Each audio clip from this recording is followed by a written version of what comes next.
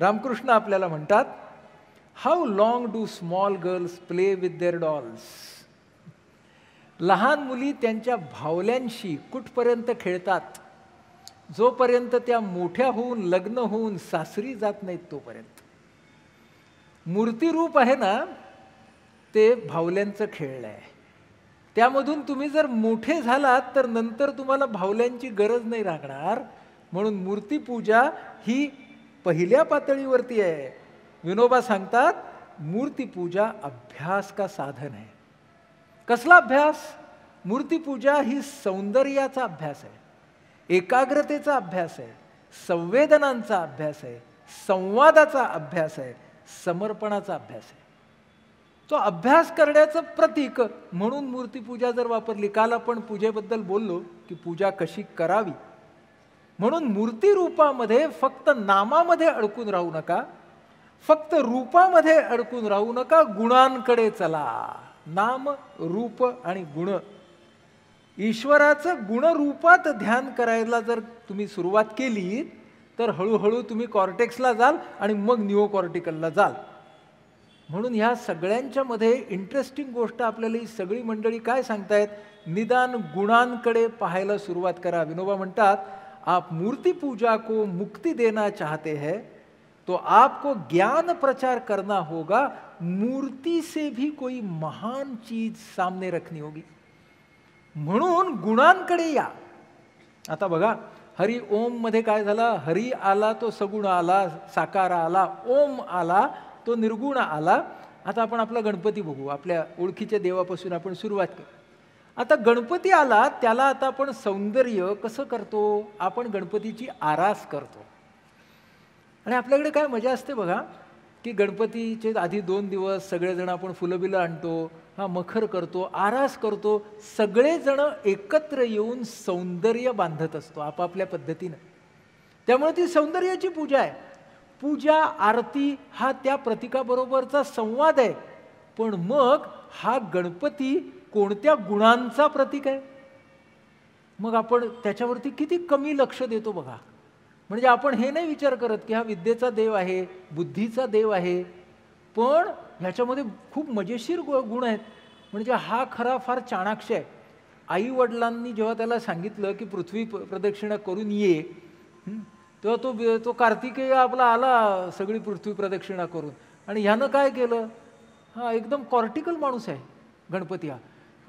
की पटकन तो स्मार्ट चॉईस काढतो. आणि त्या स्मार्ट चॉईसप्रमाणे तो वागतो. हां. बरं तो गणराज रंगी नाचतो म्हणजे तो कलांचासुद्धा देव आहे. किती छान आहे बघा. हां. तो जिथं वापरायचं तिकडे परशु वापरतो जिकडे वापरायचं तिकडे द्या द्यायचा तिकडे मोदक देतो. उंदरासारख्या छोट्याशा प्राण्याला त्यानं दयाभूती त्याच्या आपल्यासमोर त्याला ठेवलेलं आहे. म्हणजे किती छान छान गुण आहेत की नाही आपल्या गणपतीच्यामध्ये मग आपण गणपतीची मूर्ती जेव्हा सगळेजण घरी आणतो तेव्हा काय करतो बघा.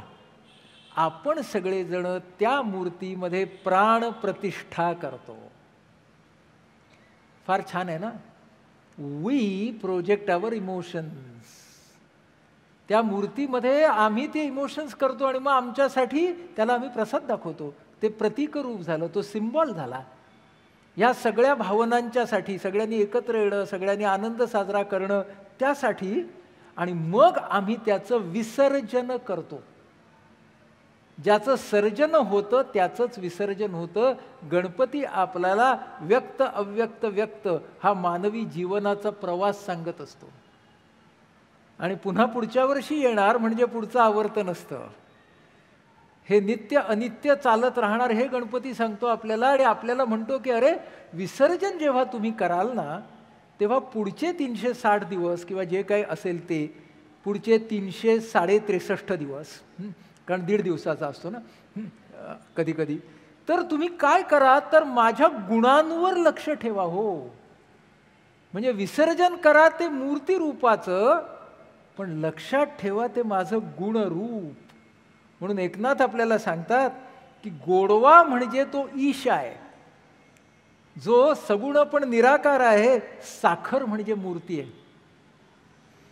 म्हणून साखर खायची ती गोडव्यासाठी साखर हे साधन आहे हे कधीच विसरू नका. आणि छांदोग्य उपनिषद सांगतं की अगदी व्यवस्थितपणे सांगतं की सगुण साकार द्वैत भक्ती ही आदिम स्तरावरती आहे. सर्वव्यापी अंतर्यामी ही प्रगत स्तरावरती आहे आणि शेवटची निर्गुण निराकार तिला काय म्हटलंय? समीपता आणि सायुज्यता. जेव्हा भक्त आणि ईश्वर हा एकत्र होईल ते महत्त्वाचं म्हणून गुणांची उपासना महत्त्वाची त्यांना प्रतीक म्हणून वापरलं तर आपला स्वतःचा गुण वैशिष्ट्याच्या दृष्टीने विकास होईल. बघा हरिहर. आपल्याकडे किती मस्त आहे बघा. हरी आणि हर. म्हणजे वैष्णव आणि शैव या दोघांचं भांडण होतं हे तुम्हाला माहिती आहे ना? आणि ते भांडण भयंकर आदिम पात भावनांच्या पातळीवरती होतं. म्हणून एकाचं गंध असतं उभं एकाचं गंध असतं आडवं. म्हणून मराठी भाषेमध्ये उभ्या आडव्याचं वैर हा शब्द शैव आणि वैष्णवांमधून आला आहे हां हे आपल्याला माहिती नसतो शब्द कसे तयार होतात. ते उभ्या आडव्याचं आपण खूप वेळेला वापरतो पण तो असा आला आहे तर मग आपल्या आपल्या संस्कृतीने काय गंमत केली? दोघांना बसून टाकले एकत्र. त्यामुळे आता हरिहर झाल्यामुळे काय झालं? सत्य प्रेम करुणा. हे दोघे एकत्र झाले की ते प्रतीक हरिहराचं झालं. त्रिमूर्ती. ब्रह्मा विष्णू महेश उत्पत्ती स्थिती लय. याचं ते प्रतीक झालं. या सगळ्या देवाच्या प्रतीकामध्ये खूप बदल झालेत स्थलकाल परिस्थितीनुसार. पुराणामधला जो देव आहे ना तो ऐश्वर संपन्न आहे तो बैरागी नाही. आपला बैरागी दत्तदेव हा खूप नंतर निर्माण झाला. अधिक माहितीसाठी राचीम ढेरेंनी दत्ताच्या वरती फार अप्रतिम असं लिखाण केलेलं आहे. ते वाचा त्याच्या मी डिटेलमध्ये आत्ता जात नाही. रामकृष्ण म्हणजे सत्य आणि प्रेम हे आले. मारुती आपला लोक हनुमान चालिसा म्हणतात हा. लोक ते सगळं हनुमानाचं स्तोत्र म्हणतात. कधीच विचार करत नाहीत की त्याच्यामध्ये किती गुण सांगितलेत त्याचे. म्हणजे मारुतीकडे भरपूर गुण आहेत हो. हां म्हणजे जरासा इम्पल्सिव्ह होता. म्हणून जन्मता क्षणी निघाला. थोडा हायपर ॲक्टिव्ह वगैरे असणार लहानपणी. म्हणून सूर्यावरतीच निघाला तो. पण नंतर त्याला ध्येय मिळालं. त्याला मेंटॉर मिळाला. रामाच्या रूपाने. मग त्याने बर चांगली चांगली कामं केली. म्हणजे तो इतका चांगला होता की तो दास्य भक्ती. म्हणजे त्याने सुरुवात केली पहिल्यांदा रामाचा दास म्हणून. पण नंतर तुलसी रामायणामधला राम जेव्हा परत येतो तेव्हा तो हनुमानाला आलिंगन देतो आणि तो त्याला म्हणतो सगळ्यांना सांगतो की हा माझा दास नाही तर हा माझा भाऊ आहे. म्हणजे तो त्या दास्य भक्ती भक्तीचं रूपांतर सख्य भक्तीमध्ये करतो हे देवपणाचं लक्षण आहे. की दास्य भक्तीमधून सख्य भक्तीमध्ये आणा. हे त्याला सांगितलं अशा मारुतीमध्ये खूप चांगले चांगले गुण आहेत. महत्त्वाचा मुद्दा असा की मूर्तिरूप देवाची जर उपासना करायची तर गुणांवरती लक्ष देऊया. ही सगळी गुणांची प्रतीकं आहेत हे आपण ध्यानात जर घेतलं तर व्यापार कमी होईल. प्रत्येक मूर्तीच्या आजूबाजूला व्यापार आहे. म्हणून व्यापाराला हद्दपार करा मूर्तिरूप देव रिटायर्ड होईल. व्यापारामुळे येतो. प्रत्येक ठिकाणी आपल्याला काय दिसतं? दोन्ही बाजूंनी व्यापार चाललेला आहे ईश्वर संकल्पनेचा. भक्तांच्या बाजूनी आणि यंत्रणेच्या बाजूनी. मग हा अप्पलपोटा देव आहे का असा? हा देव असा आहे का की जो अमुक एक लोकांना या आणि तमुक एक लोकांना जा असं म्हणतो? नाही. आदिम भावनेवरती असलेली यंत्रणा जी त्या देवाला आणि त्या देवालयाला संपूर्णपणे नियंत्रित करते ती यंत्रणा ते म्हणते. देव असं म्हणणार नाही. म्हणजे एखादं देऊळ असतं त्या देवळामध्ये अशा तऱ्हेच्या लाईनी असतात हो. तुम्ही किती पैसे देणार त्याच्यावरती लाईन असते. म्हणजे मी एका देवळामध्ये गेलो होतो तर खूप तऱ्हेच्या लाईनी होत्या. आणि एक जी फुकटची लाईन होती हां म्हणजे इथे पैसे नाही द्यावे लागणार. तर तिकडे एक माणूस होता त्याने टेलिफोटो लेन्स लावली मोठी. आणि तो म्हणाला की इथून पैसे न देता जवळचं दिसतं. म्हणून त्याने टेलिफोटो लेन्स लावून दर्शन घेतलं. मग लोक आले मग लोक पाठी त्याच्या उभे राहिले आणि तो म्हणाला आता मला माझं भाडं द्या.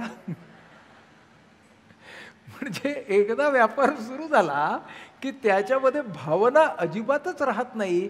म्हणून मूर्तिरूप देव जर रिटायर्ड व्हायचा असेल तर व्यापाराला हद्दपार केला पाहिजे. तुमच्या माझ्या घरातला गुण संकीर्तन करणारा देव हा खूप वेगळा आहे हो. त्याला संस्कृतीचा गंध आहे.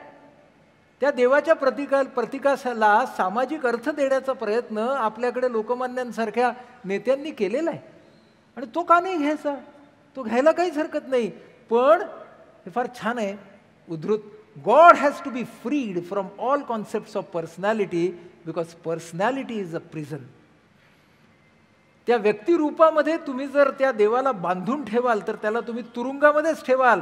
God has to be freed from any particular form only then he can have all the forms त्याला एकच देव त्या मूर्तीमधला आहे असं म्हणाल ह्या देवावरती केवढा अन्याय करताय हो तुम्ही. विनोबा आपल्याला सांगतात देव तीन ठिकाणी भेटतो म्हणतात. स्वतःच्या मध्ये देव असतो म्हणजे स्वतःमधली निओकॉर्टिकल इमोशन्स तो आपला देव. दुसऱ्यामधला देव असतो जेव्हा त्याच्यातले निओकॉर्टिकल इमोशन जागृत होतात तेव्हा. आणि सृष्टीमधला देव जो वि ज्या विशालतेमध्ये आहे आणि तो हे सगळं चक्र चालवतोय त्याला या तीन ठिकाणी देव बघा. अजून तुम्हाला देव बघायची काही गरजच नाही. पण मूर्तिरूप देव व्यापारी झाला की स्पर्धा येते. अमुक देव पावतो ह्याच्यासारखं फॅन्टॅस्टिक मार्केटिंग नाही. की हा पावणारा देव जो असतो त्याचं मार्केटिंग करून सगळी यंत्रणा जी आहे ती प्रचंड प्रमाणात पैसा करते. व्यक्त अव्यक्त शक्तीच्या ह्या प्रतिमा आहेत. एकम सद विप्रा बहुदा वदंती एकच सत्य भिन्न भिन्न उपासनांच्या द्वारे सांगितलं जातं वेदातलं वाक्य आहे. पण सत्य एकच आहे हे लक्षात घ्या. त्यांनी फक्त त्यांच्या त्यांच्या पद्धतीने ते सांगितलं आहे उपास्य आणि उपासक एक होणं हीच भक्ती. कारण त्यामध्ये उपासनेचं फळ काय मिळेल याच्यावरती कुणीही विचार केलेला नसतो. व्यापाराचं फळ काय मिळेल याच्यावरती सगळेच जण विचार करत असतात. मग असं फळ जर असेल लिंबिक सिस्टीमवरची व्यापारी भक्ती two into two into four म्हणजे मी त्या देवाला जाऊन मुकुट चढवला. का बरं? कारण माझं चांगलं झालं म्हणून मुकुट चढवला. आणि मग सांगितलं की जर माझं अजून चांगलं झालं ना तर मग मी मुकुटाच्या खालचा चौरंगसुद्धा तुला देईन. असं मी जेव्हा सांगितलं तर त्या व्यापाराला फळ कसं मिळतं बघा? अल्पबुद्धीमुळे त्यास मिळे फळ अशाश्वत. गीता सांगतोय गीतेतलंच वाक्य आहे. अल्पबुद्धीमध्ये जे करतात देवाची पूजा त्यांना जे फळ मिळतं ते अशाश्वत असतं ते तात्पुरतं असतं ते टिकाऊ नसतं. आणि खालची ओळ नीट बघा. देवांचे भक्त देवास माझे ते मज पावती. का बरं भेद केलाय कृष्णाने इकडं? श्रीकृष्ण सांगतोय गीतेमध्ये की देवांचे भक्त देवास आणि माझे ते मज पावती श्रीकृष्णाची भूमिका कुठे आहे बघा? श्रीकृष्ण लिंबिक सिस्टीमवर नाही आहे श्रीकृष्ण निओकॉर्टिकलवरती बोलतोय की तू आणि मी जिथे एकत्र होऊ जिथे ऐक्य आहे तो मी उरलेले ते देव. देवानेच दाखवलेलं द्वैत आहे. आणि त्यानेच आपल्याला बरोबर सांगितलेलं आहे की कोणत्या पातळीवरती माझ्याकडे बघता तसेच तुम्ही मागणार आहात. ही गोष्ट लक्षात ठेवा. व्यक्त मी हे चिते घेती बुद्धिहीन न जाणुनी. मी फक्त व्यक्त स्वरूपात आहे सगुण साकार स्वरूपात आहे. त्यांना काय म्हटलंय बघा ते बुद्धिहीन आहेत. त्यांची बुद्धी लिंबिक सिस्टीममध्येच अडकली आहे. कॉर्टेक्सवरती जा गुणविकासाकडे जा आणि न्यू कॉर्टेक्सकडे या. अव्यक्त थोर जे रूप माझे अंतिम शाश्वत. आणि तिथून जेव्हा तुम्ही अव्यक्ताकडे याल तेव्हा तुमची ईश्वर संकल्पनाच इतकी इतकी इतकी विशाल होईल की तुम्हाला दुसऱ्या पूजेची गरजच राहणार नाही. एवढं सांगितल्यावरती ज्ञानेश्वर म्हणतात तहान लागली तर माणसाने स्वच्छ पाणी प्यावं ना? डबक्यातलं पाणी का प्यायचं? असं ज्ञानेश्वर विचारतात आपल्याला. की अरे जायचं आहे तर काहीतरी अधिक विशाल अधिक चांगलं करा. आणि ज्ञानेश्वरीच्या सातव्या अध्यायात हे सगळं सांगितल्यानंतर ज्ञानेश्वर आपला अर्जुनाला कृष्ण काय म्हणतो? अर्जुना माझं हे बोलणं विचार करण्याजोगं जरूर आहे तरीसुद्धा अरे बहुतेक जीवांना ते विशेष करून आवडणार नाही. म्हणजे हे सुद्धा त्याला माहिती आहे बरं का ज्ञानेश्वरांच्या श्रीकृष्णाला की मी जेव्हा असं रोकडं बोलणार आहे तेव्हा बहुसंख्य लोकांना आवडणार नाही.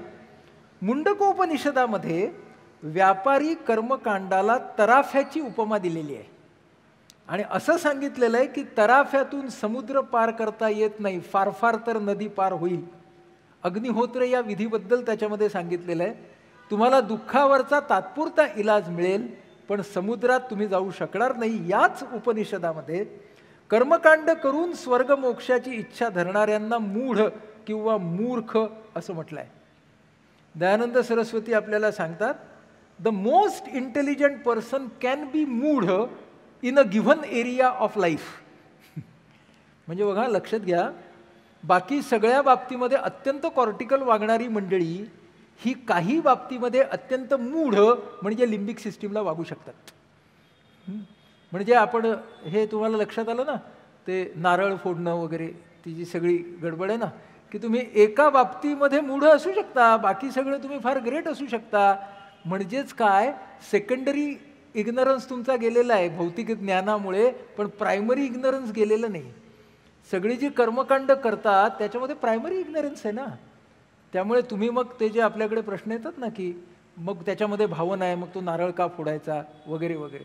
तर ह्या सगळ्याच्यामध्ये एक अत्यंत रिस्ट्रिक्टेड असा अर्थ आपण त्याचा काढत असतो म्हणून सर्व कर्मकांडांना विवेकानंदांनी म्हटलंय kindergarten of religion K G K जीचा वर्ग आहे. कर्मकांड हा के जीचा वर्ग आहे. आणि रामकृष्ण म्हणतात किती छान वाक्य आहे बघा रामकृष्णांचं. When hearing the name of Hari or Ram once एकदा तुम्ही हरीचं आणि रामाचं नाव घेतलं यू शेड टिअर्स तुमच्या डोळ्यात पाणी उभं राहतं. Your hair stands on end रोमांच उभे राहतात. Then you know for certain that you do not have to perform such devotions as the sandhya any more जर भावरूप होत असाल जर एकरूप होत असाल तर कर्मकांडांची तुम्हाला गरजच नाही. मग तुम्ही पूजेला विस्तृत करू शकाल. पूजेला विस्तृत करणं म्हणजे काय? विनोबांनी फार छान सांगितलं. विनोबा सांगतात तीन प्रकारच्या पूजा प्रत्येक माणसानं कराव्यात. कराव्यात स्थलपूजा कालपूजा सर्व जीव पूजा. स्थलपूजा म्हणजे स्वच्छता. हा कोणी अजून रेफरन्स काढलेलं नाही पण आपल्याकडे स्वच्छता अभियान चालूच आहे आपल्या देशामध्ये. पण ही पूजा आहे. कालपूजा म्हणजे रोल मॉडेल्स आहेत त्यांचा अभ्यास करा. इतिहासाचा अभ्यास करा. त्यातल्या रोल मॉडेल्सचा अभ्यास करा. सर्व जीवपूजा म्हणजे सर्व देहांना आपलं माना आणि त्यांची सेवा करा. आणि हे सगळं करताना वेळ उरला तर अव्यक्त पूजा म्हणजे ध्यानधारणा करा. म्हणजे इथे आपल्याला विनोदाने फार छान सांगितलंय की फक्त ध्यानधारणा करू नका. स्थलपूजा कालपूजा सर्व जीव पूजा आणि मग अव्यक्त पूजा स्वच्छता ज्ञान सेवा आणि मग हळूहळू शांती प्रेम करत निओकॉर्टिकलकडे जा. अतिशय छान पद्धतीने त्यांनी आपल्याला हे सांगितलंय. म्हणजे बघा भक्ती कशी असावी? तीन शब्द आहेत. जर भक्तीला कॉर्टिकलकडून निओकॉर्टिकलला न्यायची असेल निष्काम म्हणजे लिव्हिंग इन्सिस्टन्स ऑन रिझल्ट्स. म्हणजे मला हेच मिळालं तर हे पाहिजे ते मिळालं तर ते पाहिजे. अनन्य भाव फोकसिंग ओनली ऑन प्रोसेस आणि अनन्य भक्ती म्हणजे विदाऊट डिफरन्शिएटिंग बिटवीन मी अँड गॉड ही जर भक्ती असेल तर ती खरी. ही जर अशी भक्ती असणाऱ्या मंडळींना आपल्या संस्कृतीमध्ये मोठं स्थान दिलेलं आहे. म्हणजे अशा तऱ्हेच्या भक्तीमध्ये प्रेमभावना असली रोमॅन्टिक प्रेम रोमॅन्टिक लव म्हणजे शृंगारयुक्त प्रेमभावना असली तरीही तिला मान दिलेला आहे.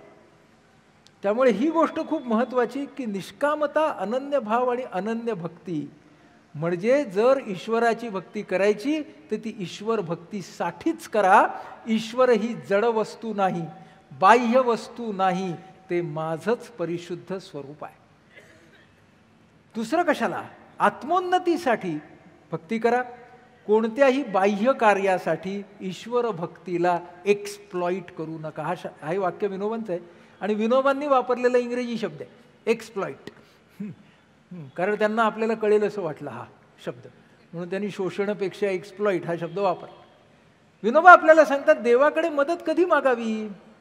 तर ते सांगतात परीक्षा पास होण्याला ईश्वराची मदत मागणं ही कसली आस्तिकता? हा बावळटपणा आहे. ही पुरुषार्थहीनता आहे. सकाम भावनेने बाह्य कार्यात ईश्वराची मदत मागणं शोभणारं नाही. देवाला तुम्ही आपल्या बुद्धीचा गुलाम करू पाहता. निष्काम भावनेने केलेली अनन्य भक्ती हीच खरी. मग अडचणीत माणसानं काय करावं? स्वतःची शक्ती पूर्णपणे वापरल्याशिवाय देवाजवळ मदत मागितली तर त्याने ती का करावी? कशाला करायची ना? तुम्ही तुमच्याकडे आहे ते वापरलं नाही आहे तर त्याने तुम्हाला का मदत करावी? पण तुम्ही संपूर्ण प्रयत्न केल्यानंतर तुमच्या फॅक्टर्स बियॉन्ड कंट्रोलसाठी म्हणालात की अरे मी फॅक्टर्स काल आपण गेले ना factors within control factors beyond control factors within कंट्रोलवरती मी सतत काम करतोय. फॅक्टर्स बियॉन्ड कंट्रोलच्यासाठी ना मी नम्रपणे तुला प्रार्थना करतोय तर ते काय झालं? तर ती पराधीनता नाही. ईश्वर कुणी परका मानला तर पराधीनता. ईश्वर आणि आपण एका चैतन्याची रूपं आहोत आपण अंश मात्र तो पूर्ण रूप. आणि म्हणून विनोबा पुढे आपल्याला फार छान दृष्टांत देतात आपण ट्रंकेतले पैसे तो बँकेतले पैसे. आपण ट्रंकेतले पैसे तो बँकेतले पैसे. हाच त्याच्या आणि आपल्यामधला जर फरक आहे तर मग का नाही असं करायचं? त्याच्या आवाहनातून इन्व्होकिंग आपल्याला शक्ती मिळत असेल. रवींद्रनाथांची फार सुंदर कविता आहे बघा याच्यावरची की तू मला माझ्या दुर्दैवातून सोडव असं मी तुला म्हणत नाही. पण त्यामधून पार करण्याची शक्ती मला मिळू दे अशी मला माझी तुझ्याकडे प्रार्थना आहे. ती याच पद्धतीची आहे. आणि म्हणून अशा वेळेला ईश्वर हा कुठेही असू शकतो. गणित असेल तर गणितोपासकाचा गणित हाच ईश्वर होईल. मग काय कशाला वेगळा ईश्वर पाहिजे तुम्हाला? जिथं कुठं आपल्याला दिसेल की निष्कामता आहे अनन्य भाव आहे तिथं ईश्वर भावना आहे. एखाद्यासाठी संगीत ईश्वर भावना असेल. एखाद्यासाठी समोरचा तडफडणारा जीव ही ईश्वर भावना असेल. बाबा आमटेंना त्या कुष्ठरोग्यामध्ये ईश्वर दिसू शकला ना? दिसलाच. दिसू शकला काय? दिसलाच. तुम्हाला आणि आम्हाला म्हणजे आम्ही डॉक्टर लोकांना ईश्वर पेशंटमध्ये बघा दिसू शकतो. का नाही दिसणार? विद्यार्थी विद्यार्थ्यामधला ईश्वर शिक्षक शोधू शकतो शिक्षकामधला ईश्वर विद्यार्थी शोधू शकतो. त्यामुळे जिथे निष्कामता आहे जिथे अनन्य भाव आहे ही ईश्वर भावना आहे. म्हणून आपल्याला विनोबा फार छान सांगतात. ते असं म्हणतात बघा सर्वात ईश्वरच ईश्वर दिसावा. सर्वत्र हरिदर्शन व्हावं हेच खरं ईश्वर दर्शन. तुम्ही एक चैतन्यमय पुरुष आहात. तुमच्या पायावर एक लहानशी मुंगी येऊन बसते. परंतु तिला हे ज्ञान नाही की आपल्याला एका जिवंत वस्तूचा स्पर्श होत आहे. तिच्या दृष्टीने माणसाचा पायही एक पदार्थच आहे. तसंच आपलंही आहे. मुंगीला जिवंत स्पर्शाचं ज्ञान नाही. पायावर बसली म्हणजे जणू एका मातीच्या ढिगाऱ्यावरच बसली एवढंच तिला ज्ञान आहे. तसंच आपणही ईश्वराला आलिंगन देऊन बसलो आहोत तरीही आपल्याला घर घर दिसतं झाड झाड दिसतं. त्यात ईश्वर दिसत नाही मात्र बसलो आहोत ईश्वराच्या कुशीतच स्पर्श आहे पण ज्ञान नाही. स्पर्श आहे पण ज्ञान नाही. आणि तो जर स्पर्श झाला तर आपोआपच तो ज्ञान होणार म्हणजे आपण महत्त्वाच्या गोष्टीकडे येतो. विशालता आणि एकात्मतेची उन्नत अनुभूती म्हणजे ईश्वर. जिथे विशालता आहे जिथे एकात्मता आहे अनुभव अनुभवामृतामध्ये ज्ञानेश्वर आपल्याला सांगतात फार सुरेख ओवी आहे बघा. सांडुनी मीठपणाचा लोभू. मीठ जे असतं ना ते मीठपणाचा लोभ सोडतो. मिठे सिंधुत्वाचा घेतला लाभू. म्हणजे ते समुद्रामध्ये पाण्यामध्ये उतरतं तेवी अहम देवनी शंभू शांभवी झालो. म्हणजे काय? त्याच्यामध्ये मी एकरूप झालो. म्हणजे मजेशीर आहे हीच ओवी रामकृष्ण सांगायचे. रामकृष्ण त्यांच्या शिष्यांना एका वाक्याची गोष्ट सांगायचे. त्या वरच्या ओवीकडे बघा आणि मी तुम्हाला रामकृष्णांची एका वाक्यातली गोष्ट सांगतो. ती प्रत्येक शब्द ऐका ते एका वाक्यातली गोष्ट सांगायची ती अशी मिठाने तयार केलेल्या बाहुलीला अशी इच्छा निर्माण झाली की समुद्राचा तळ सोडावा शोधावा म्हणून तिने समुद्रात बुडी मारली. झाली गोष्ट. बघा मिठाने तयार केलेल्या एका बाहुलीने समुद्राचा तळ शोधावा म्हणून बुडी मारली झाली गोष्ट. सांडुनी मीठपणाचा लोभू मिठे सिंधुत्वाचा घेतला लाभू तेवी अहम देऊनी शंभू अहम अहम देऊनी. मी माझ्यामधला अहंकार जेव्हा विल विलीन केला तो विरघळल्याशिवाय ईश अनुभवायला येणार नाही. जिथे व्यापकता आहे तिथेच ईश्वर आहे.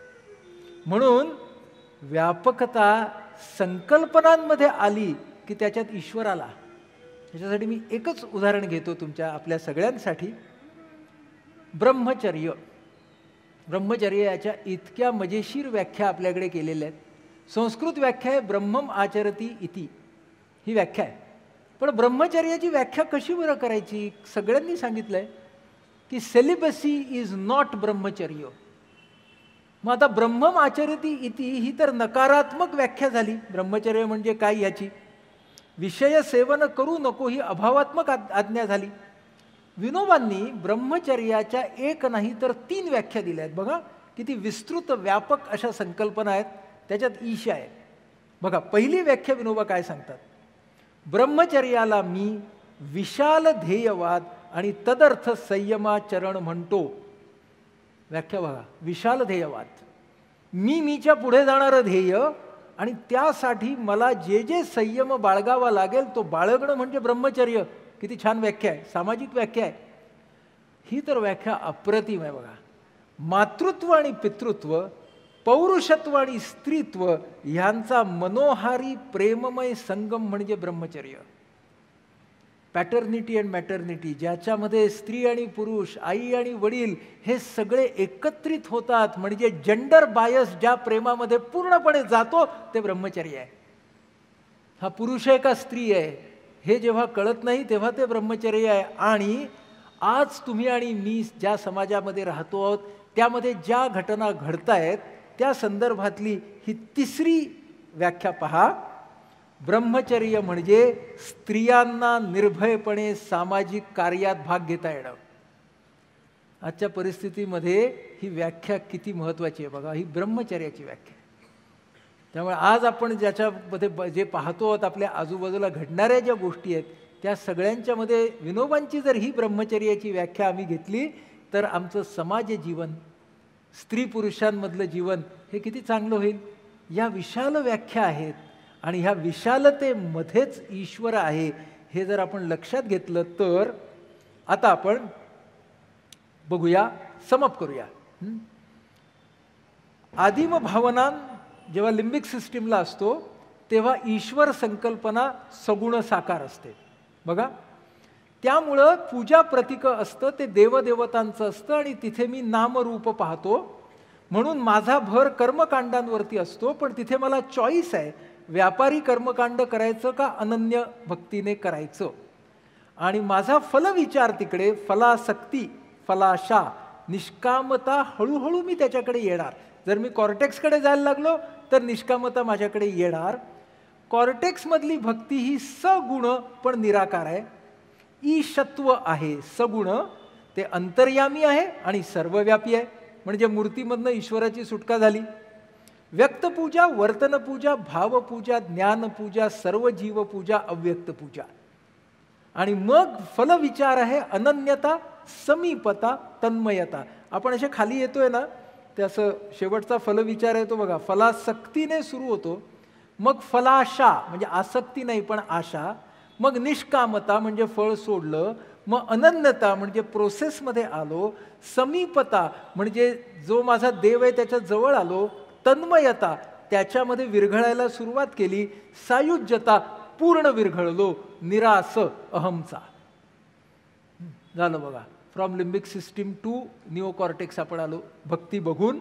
म्हणजे उन्नत भावनेकडे आपण जेव्हा जातो तेव्हा निओकॉर्टेक्सवर निर्गुण निराकार ईश्वर संकल्पना ज्याला म्हटलंय शून्य अनंत मोक्ष निर्वाण. बुद्धाचा शब्द आहे निर्वाण. आणि बुद्धाच्या निर्वाणामध्ये अहंकाराचं निर्वाण आहे.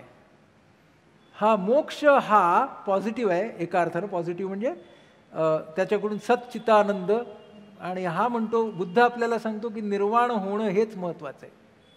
मग तिथं ब्रह्मन म्हणजे युनिफाईड फील्ड म्हणजे अद्वैत आहे. अस्तित्व हीच उपासना. Role models of neocortical excellence जे आम्हाला दिसतील त्यांच्याकडून आम्ही शिकू. आम्ही स्वतःकडून शिकू म्हणून तिथे सायुज्यता आणि निरास असं झालेलं आहे आता आपण इथपर्यंत आलो आता आपल्याला पुढचं कोडं सोडवणं खूप सोपं जाणार आहे बघा. ते असं सोड सोपं जाणार आहे की जशी आपली आदिम प्रगत उन्नत भावनेची पातळी तसे आपण जगण्याकडे बघणार तसे आपण मरण्याकडे बघणार आणि तसे आपण जन्म पुनर्जन्माकडे बघणार. त्यामुळे आपण आता जिक्सॉ पझलला पुढची पुढच्या स्टेपमध्ये सोडवायला येऊ की जर आपण आत्ता विचार करतोय तसा विचार केला तर जन्म पुनर्जन्माचं कोड खरंच कोड आहे का?